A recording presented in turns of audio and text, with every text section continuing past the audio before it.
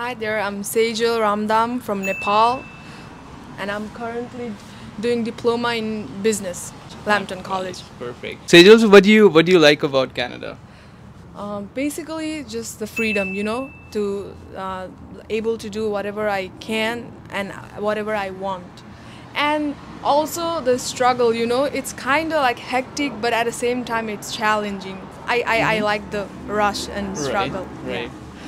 And if you want to rate your experience so far from 0 to 10, Uh, I'm not. I'm kind of new in here. It's just been like three months, but so far I would rate seven.